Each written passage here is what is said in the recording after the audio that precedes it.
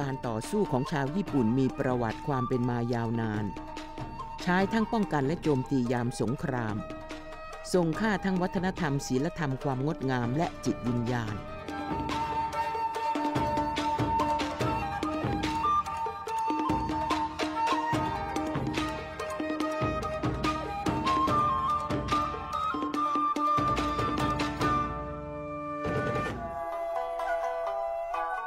บูแปลว่าสงครามโดคือวิถีบูโดจึงหมายถึงวิถีแห่งสงคราม เป็นการเรียนรู้ธรรมชาติของการไม่ใช่ศัตรูภายนอก มีแค่อัตตาที่ต้องต่อสู้โอสคนทั่วไปจะเข้าใจว่าบูโดแปลว่าการต่อสู้ของญี่ปุ่น คือ Japanese martial art แต่จริง ๆ บูโดไม่ใช่การต่อสู้ของประเทศญี่ปุ่น การเป็นบูโดจะต้องมี 3 องค์ประกอบคือ心技体 心 ก็คือจิตใจ จิตใจเป็นสิ่งที่สำคัญที่สุดของการต่อสู้ของประเทศญี่ปุ่น ให้อยู่กับปัจจุบัน อย่าสนใจอดีต อย่ากลัวอนาคต ส่วนที่ 2 ก็คือ 技 ความหมายของ 技 คือ skill คือทักษะ ถ้าเราเรียนยูโดฝึกทุ่ม ทุ่มต้องจับยังไง ต้องถ่ายแรงยังไง อย่างคาราเต้ต่อยต้องออกแรงเก็บหมัดยังไง คือการฝึกเพื่อให้ได้ทักษะในการเข้าถึงศาสตร์วิชานั้น ส่วนตัวต่อไปเนี่ยก็คือ 体 ตัวร่างกายก็จะเป็นจุดที่สำคัญ เพราะว่าเราจะต้องฝึกร่างกายเราให้พร้อมที่จะรองรับ skill หรือรองรับไอตัว 技 ให้ได้ เราฝึก martial art โดยให้ 3 ปัจจัยเนี่ยสอดคล้องเดินไปด้วยกันในทิศทางที่เหมาะสม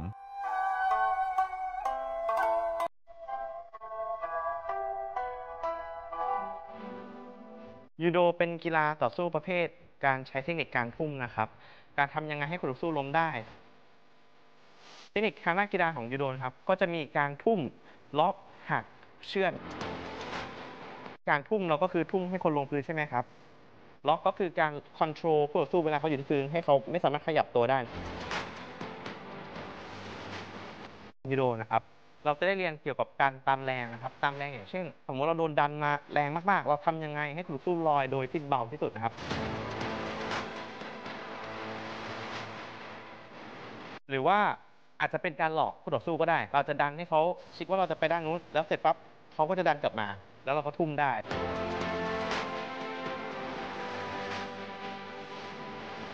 แบบฝึกหัดสำคัญของการฝึกยูโดคือท่าทางถูกต้อง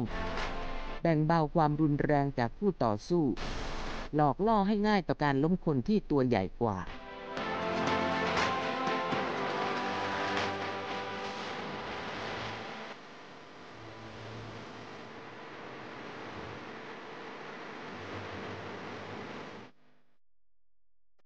คาราเต้หรือคาราเต้โด ศิลปะการต่อสู้ที่มีเอกลักษณ์คือ ใช้สันมือกำปั้น ข้อศอก ขาและเท้าเป็นอาวุธ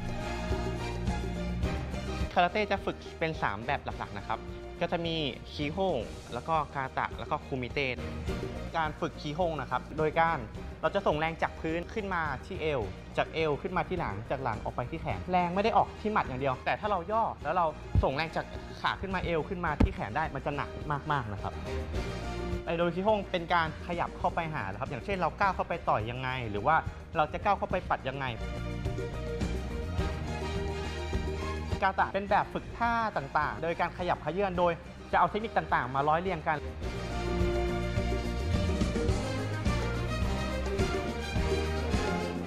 คาราเต้เราจะฝึกการต่อสู้โดยที่มีระยะที่ไกลกว่า ส่วนยูโดจะเป็นระยะที่คู่ต่อสู้เข้ามาใกล้เรามากแล้ว ซึ่ง perfect combination ของการป้องกันตัวนะครับ ก็คือจะต้องมียูโดกับคาราเต้รวมกัน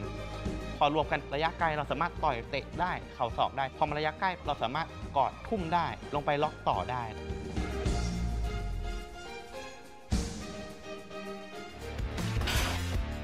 Eu sou Michelle da Tailândia e estou aqui no MX Dojo e hoje eu vou falar sobre Brazilian Jiu-Jitsu แปลว่าอะไร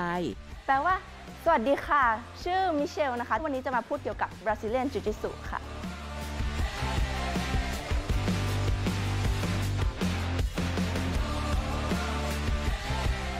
คนทั่วไปเชื่อกันว่าคำว่าบูโดเนี่ย มันมาจาก Japanese martial art แต่จริง ๆ แล้วเนี่ย มันไม่จำเป็นต้องเป็นของญี่ปุ่นก็ได้ ตัวอย่างเช่น Brazilian Jiu-Jitsu ก็คือของบราซิลนะคะ ก็ยังเป็นบูโดได้เช่นกัน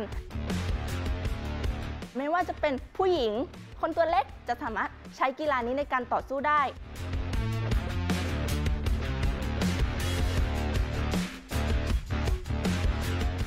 จะเป็นกรณีที่ผู้ชายนะคะค่อมผู้หญิงอาจจะเกิดขึ้นกับผู้หญิงมากที่สุด ฝั่งผู้หญิงจะเก็บแขนผู้ชายกลับมา เพื่อให้แขนเขาไม่สามารถคำพื้นได้ หลังจากนั้นก็จะยกสะโพกขึ้นผู้หญิงจะขึ้นมาด้านบนแทน เกาะคอแล้วก็ขานะคะ หลังจากนั้นถ้าเป็นผู้หญิงทั่วไปสามารถวิ่งแล้วก็หนีได้เลย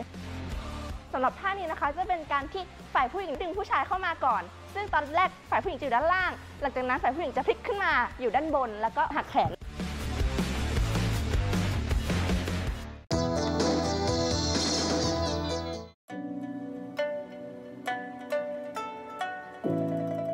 ในอดีตการฝึกต่อสู้เพื่อทำสงคราม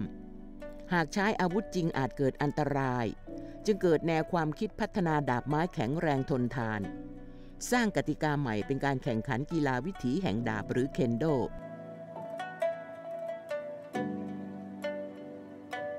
เคนโดก็คือวิถีของการใช้ดาบที่ถูกต้อง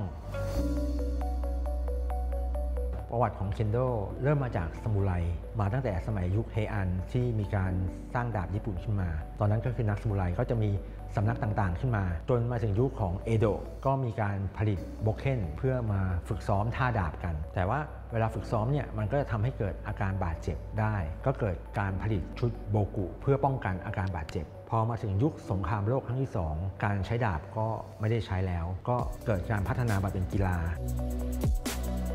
มีการตั้งกฎกติกาต่างๆ ขึ้นมา เพื่อมาเป็นเคนโดของปัจจุบัน เพราะเนี่ยเคนโดปัจจุบันเนี่ยมันก็จะมาเกี่ยวเนื่องมาจากสมุไรส่วนหนึ่ง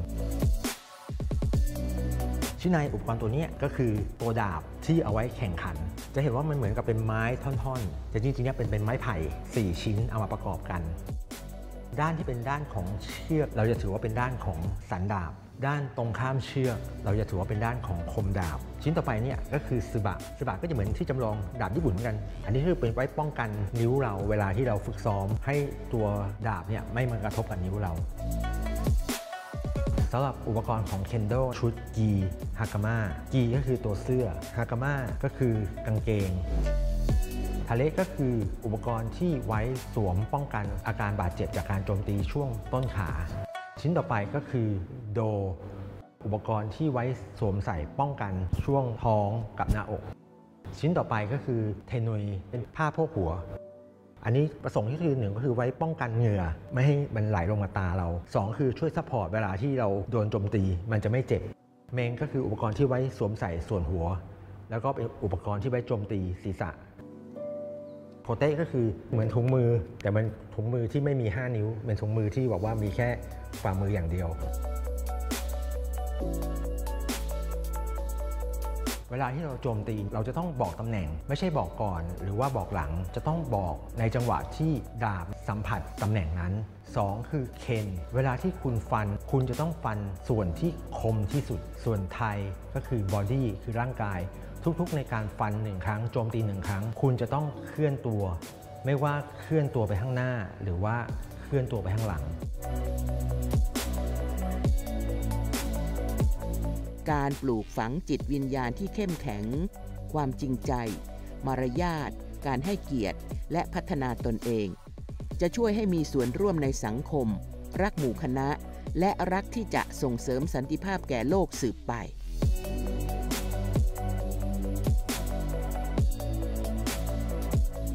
ำหรับปรัชญาของเคนโดนะครับก็เป็นการฝึกฝนตัวเอง แล้วก็การพัฒนาบุคลิกภาพ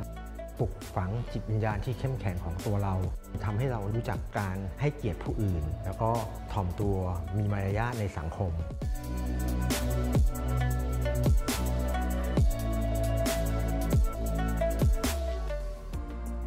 ศิลปะการป้องกันตัวทุกชนิด นอกจากเป็นการฝึกสติ สร้างสมาธิ ปฏิพานไหวพริบ ยังก่อให้เกิดความแข็งแรง ทั้งร่างกายและจิตใจ สิ่งจำเป็นที่ต้องประกอบการใช้ชีวิตรอดให้ได้ในปัจจุบัน